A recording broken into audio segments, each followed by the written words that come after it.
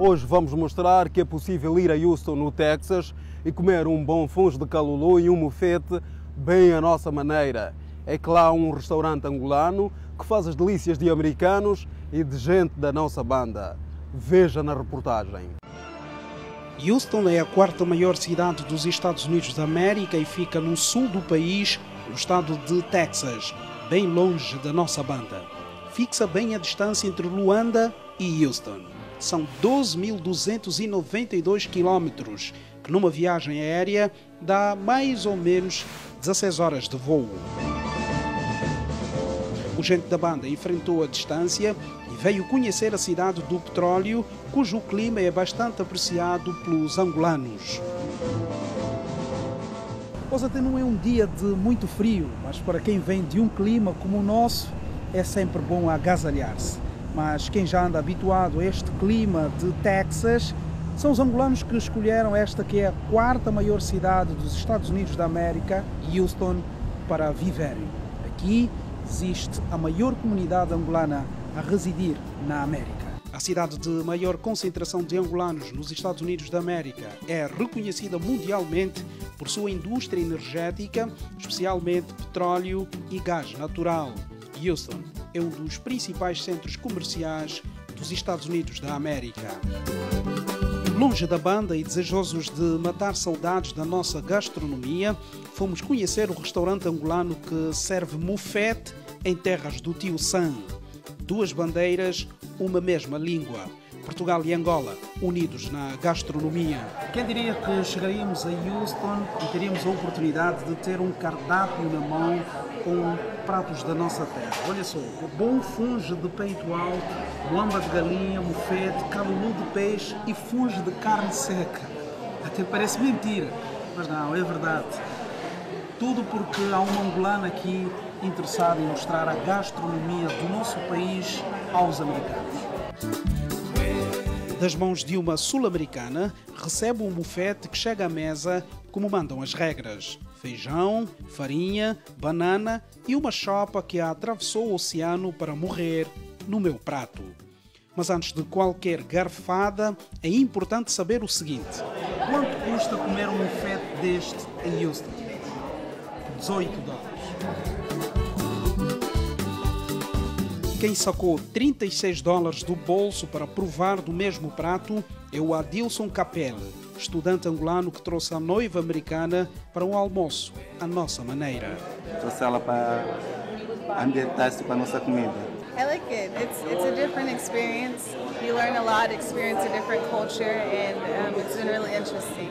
A responsável por esta alegria dos clientes é a senhora Isabel, a proprietária do restaurante que gentilmente abriu-nos as portas da sua cozinha. Achei uma cozinha, uma, tem duas. Tem carros, diz ai. Sete Carlos, esse é o nosso assistente, que é, que é, que é português. Não, deixa eu dizer portuguesa, ela que é portuguesa. Ah, Cristina. Não, não, deixa ela para Diz ai. Esse é o Rodrigo, também é nosso assistente. É, é... Também é português? Não, é Rodrigo é onde? Onde tu és? México. Rodrigo é do México. It's good to work with uh, essa área aqui tem a área dos frios aqui, aqui a área dos frios, a salada, aqui a área dos, dos, dos doces, aqui a área dos doces, para fazer os doces. A responsabilidade da gestão da cozinha está entregue a uma francesa. It's good to work with Angola. Oh yes, I like it a lot. They are very friendly. yes, it's nice food. It's nice. Yes, yes. We, we do a lot of. Well, it's different because we have both cooking. We do Angola food and Portuguese food. Then it's a big variety for the customer. But it's nice. Yeah, everybody like it. Deixamos a cozinha e fomos conhecer melhor a empreendedora Isabel para saber como entrou no negócio. Eu já tinha a cozinha montada. É, só entraste no mercado, no caso são os produtos já. a Sim, sim, que eu posso dizer, tachos, uma coisa ou outra, mas o, o, o utensílio em si fogões, já estava a instalação, já estava tudo montado. Só que eu gosto mesmo de cozinha, essa agitação de cozinha, esse. Quando, a minha primeira vez que eu vi a cozinha, eu disse, uau, essa cozinha é muito grande, eu acho que eu não vou conseguir, mas disse, não, eu gosto de desafio, vamos lá. Mas em Luanda que servia casamentos ou... Sim, eu trabalhava com a irmã, pronto, somos três irmãs, quatro, né? A gente trabalha nesse ramo, se vê casamento, festas. E estamos sempre ligados ao mesmo ramo de cozinha. Isabel contou-nos também que não é fácil ser empreendedora nos Estados Unidos da América. Olha, estamos há, posso dizer, há um ano para dar papéis, licenças, licença daquilo, licença daquilo, licença. Sei que tem mil e uma, mil e uma licenças. A licença da bebida é que é o mais, mais, mais, mais importante para eles, o mais difícil por aqui. Então, tu fazes aplicação, pedido de bebidas alcoólicas, porque tu podes vender bebida, mas que não seja álcool, álcool, bem dizendo, tudo tem álcool, né? mas que não seja o licor em si, tipo o uísque, o brando, licor, os mais fortes. Porque o álcool, a cerveja eu posso vender, tem uma porcentagem baixa de álcool. O vinho eu posso vender, tem uma porcentagem baixa de álcool. Há quatro anos, longe do país, com idas e vindas, Isabel também fala de saudades. A saudade da família é grande, é muita, né? Da Angola em si.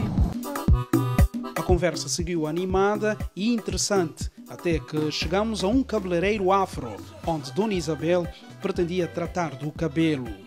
Antes de nos separarmos, combinamos um novo encontro para conhecermos a família. Chega a noite e lá estávamos nós para o tão aguardado encontro.